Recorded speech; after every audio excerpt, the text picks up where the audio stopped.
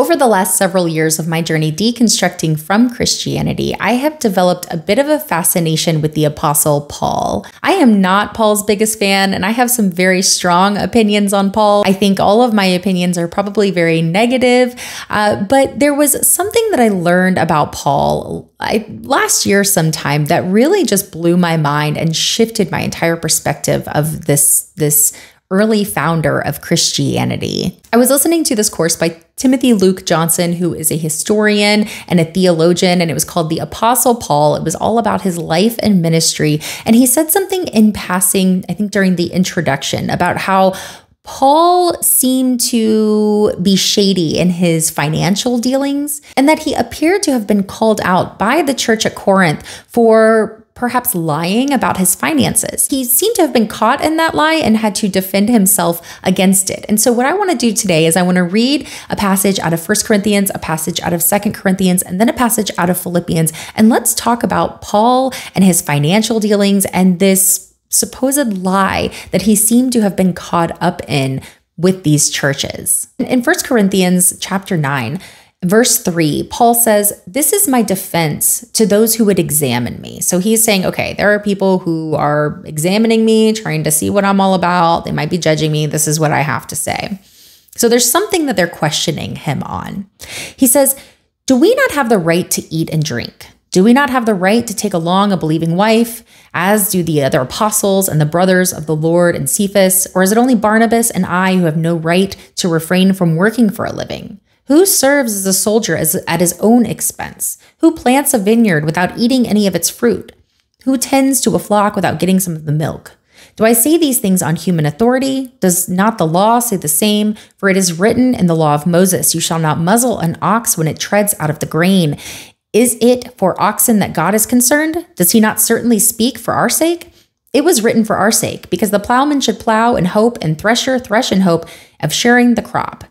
If we have sown spiritual things among you, is it too much if we reap material things from you? If others share this rightful claim on you, do we do not we even more? So he's saying, okay, this is my defense that I'm giving to you. And what we can kind of gather from this paragraph is that he is defending his right to live by the gospel, to uh, be compensated for his ministry. You know, he's saying, do we not have the right to eat and drink? Uh, do soldiers serve at their own expense? Why would you plant a vineyard and not eat any of its fruit? Um, and so he is making this defense that he should kind of reap the rewards of what he's doing, what he's putting out there. Uh, and and that so this seems to be kind of revolved around money, around being compensated for his job. So people are questioning him on getting possibly paid to preach the gospel, and this is how he's defending himself. So he kind of sets this up by saying, This is my right. I have the right to reap the rewards. But then he goes on in verse 12 to say, Nevertheless, we have not made use of this right, but we endure anything rather than put an obstacle in the way of the gospel of Christ. Do you not know that those who are employed in the temple service get their food from the temple, and those who serve at the altar share in sacrificial offerings? In the same way, the Lord commanded that those who proclaim the gospel should get their living by the gospel. But in verse 15, he says, but I have made no use of any of these rights, nor am I writing these things to secure any such provision. For I would rather die then have anyone deprive me of my ground for boasting. For if I preach the gospel, that gives me no ground for boasting, for necessity is laid upon me. Woe to me if I do not preach the gospel, for if I do this of my own will, I have a reward, but if not of my own will, I still am entrusted with a stewardship, then what is my reward? That in my preaching I may present the gospel free of charge, so as not to make full use of my right in the gospel. So he gets really dramatic here. Uh, and I think he's getting dramatic because he's being very defensive. You have accused me of something. You were examining me. You were questioning me. This is what I have to say to you. And, and he gets so dramatic. He's like, I would rather die than you deprive me of my right to boast. Because I'm telling you that I have every right to make money off of my preaching. God says it. He says that I have the right to live by the gospel. If I preach the gospel, I can live by the gospel. So he makes this, he builds up this case. This is why I, sh- I should get paid. But I want you to know that regardless of the fact that I should get paid, I'm choosing not to. I could boast about the fact that I'm preaching to you free of charge because my reward is not in your money. And so you can't accuse me of preaching for money because I'm not doing that. I'm preaching to you for free. I am offering you my services for free. And so, so far, so good. It looks great. It seems as though Paul is doing this from the goodness of his heart. So now let's look at the second letter that he wrote to the Corinthians. Starting in chapter 11, Paul seems to be defending himself and he seems to be getting a little bit snarky. Now, in verse 1 of chapter 11, he says, I wish you would bear with me in a little foolishness. Do bear with me. He says, I feel divine jealousy for you, but I am afraid as the serpent deceived Eve by his cunning, your thoughts will be led astray from a sincere and devotion to Christ. So something's going on. It seems as though they have, um, he's pushing back on something it seems as though they they have maybe perhaps been uh, talking with other people that maybe are bringing up concerns about Paul, and so Paul is again giving a defense, defending himself, and and he's saying, you know, I'm afraid you're being deceived by someone else. I wonder what they were deceived about. Let's read on. Now, he says in verse 5 Indeed, I consider I am not in the least inferior to these super apostles. He's been a little bit a little bit snarky here. He says, Even if I am unskilled in speaking, I am not so in knowledge. So, yeah, I might not speak well, but I'm very, very smart. Indeed, in every way, we have made this plain to you. So I, I, have told you this, okay? I've made it plain to you. He says in verse 7 or did I commit a sin in humbling myself so that you might be exalted? Because I preached God's gospel to you free of charge. I robbed other churches by accepting support from them in order to serve you. And when I was with you and was in need, I did not burden anyone, for the brothers who came from Macedonia supplied my need. So I refrained and I will refrain from burdening you in any way. Now, when you hear this, what do you think? Because i read this and and it seems as though paul you know because in in the beginning of verse uh, verse 1 he says i wish you would bear with me a little foolishness. Just just bear with me here. And then he says you know did i commit a sin in humbling myself? I preached the gospel to you for free and i robbed other churches by accepting support from them so that i could serve you. So he's kind of like he's defending himself against some sort of an accusation that he was receiving payment from other churches because in his first letter to them, he states, I would rather die than be robbed of this, this boast that I don't get money for preaching. And he made it so clear that he was able to receive payment, but that he chose not to, that it was his duty to preach this gospel free of charge. But now in his second letter to the Corinthians, he is giving this defense about why he was receiving payments from other churches. He says, I robbed other churches by accepting support from them in order to serve you. I'm wondering if the Corinthians, whoever wrote to him or whoever was making these accusations from the church at Corinth, I'm wondering if they accused him of robbing other churches. And so that's why he's using this language like, I robbed other churches. Again, he's bear with me in this foolishness. So he's saying, This is so. This is so silly. You're saying I robbed people?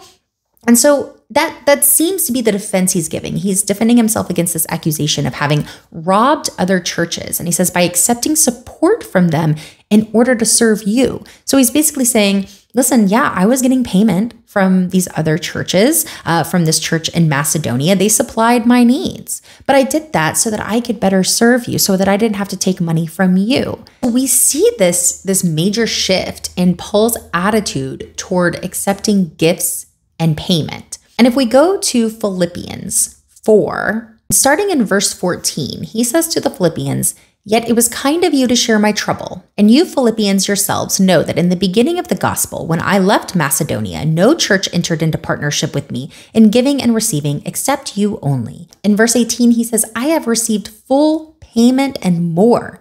I am well supplied, having received the gifts you sent fragrant offerings, a sacrifice acceptable and pleasing to God, and my God will supply every need of yours according to the riches of his glory. So he has let them know hey, I got your payment. I have received full payment and more. We see this this timeline, this order of events where Paul goes to the church at Corinth. He sends them a letter after he leaves and he says, I am not going to receive payment from you. I am not asking. I deserve it. I could receive payment if I wanted to. The Lord says I could. But you know what? I would rather die than you to take this post from me. So I'm letting you know that I am preaching to you free of charge. I do not take money for payment. That's just not how I operate. Then he leaves. He goes to the, the church in Macedonia. He receives full payment. Who knows how long he was receiving gifts and payment from this church.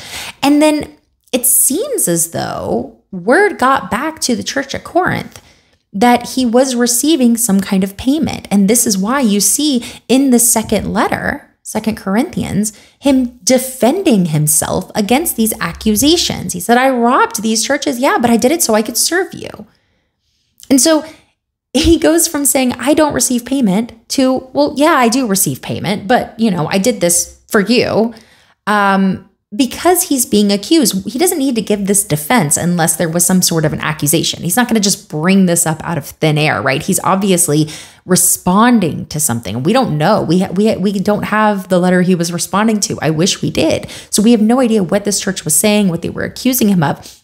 But we can make the pieces fit. We we when we weave the story together and we see this chain of events and we see Paul getting so defensive about his finances, at the very least, Paul was accused of being shady in his financial dealings. He was at least accused of it, and he he had to perpetually give this defense against, you know, these accusations. Now, of course, we don't know all of the details. We don't know for sure what was going on with Paul and his payments. But we can see that Paul makes it very clear that he is not receiving payment from churches. He doesn't even talk about receiving payment from the Philippians. He doesn't bring them up in his first letter to the Corinthians. But in his second letter, he has to give a defense and bring them up. Why?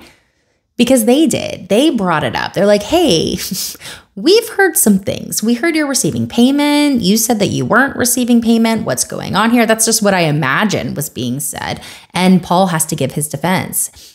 And he gets so snarky and he's like, Psh, you know, just bear with me in this foolishness for a minute. I was robbing these churches, uh, you know, and I, I really think that him using that terminology, robbing churches, was a response to something that they said to him. They probably accused him of robbing churches. And so he was just kind of uh, being snarky about it and making a point. Um, and, and, and so it, it doesn't look good for Paul, in my opinion. To me, this was such a big kind of like, moment of like, oh my gosh, like this guy, this guy was not this like honest, humble guy that eh, that they preached to us about in church. This was someone who was very shady in his dealings, who was constantly flip flopping on what he was saying, who seemed to be lying to churches, or at least withholding information to these churches and then getting accused by these churches of being shady. And then when he's called out, he gets just like really snarky and uh, kind of flippant in his attitude. And, and we see that humility just kind of fly out the window. And it's so funny how he, he, um, he boasts without boasting? Like he says i could boast but i won't you know? Or um, you know i have this right but i don't use it. Lucky you. It's this attitude of like look how great i am i'm doing what i want you need to get in line. Don't listen to anyone else. Don't accuse me of anything. I was sent by Jesus. You better just straighten up and understand. you know, he didn't want to be accused because he was constantly having to defend himself. And I just wonder why this apostle is constantly having to defend himself against other followers of Jesus. And it really just paints a picture of, of, of this whole Christian system where none of these Christians can get together and agree. They're all arguing with one another. They're all disagreeing with one another on how to approach these things, how they're supposed to behave. Should they be receiving money for preaching? Should they be boasting about not receiving money from from preaching? Should they be lying about receiving money from preaching? Um, but I just thought it was so interesting because I had never heard this about Paul before. Uh, you know, it takes a lot of study to really go through these letters and to kind of put the timeline together and most people don't do that. And so when I heard about this, these kind of shady dealings, it really just kind of was like another check, you know, for Paul and the fraud department. I don't know that we could use this to prove that Paul was committing any kind of fraud. Um, but I do think he was being dishonest about his payments for uh, for preaching, and I think at least he was. Uh, bragging when he probably shouldn't have been. He was bragging about not receiving payment when he was receiving payment. And that to me seems like a lie. That to me seems very shady. And it just makes him untrustworthy. It just kind of adds to that untrustworthiness factor that that Paul just kind of carries. So let me know what you think in the comments. Let me know if you think there's something I missed or something I didn't consider about Paul or why you think Paul maybe wasn't lying about this situation. I'd be curious to hear what your thoughts are. And Paul has always been a shady character to me, but this just kind of drives the nail in the coffin and I'm so curious to hear what you think. So uh, leave a comment, like and share, subscribe, ring the bell, do the thing, and uh, yeah, I'll see you next time.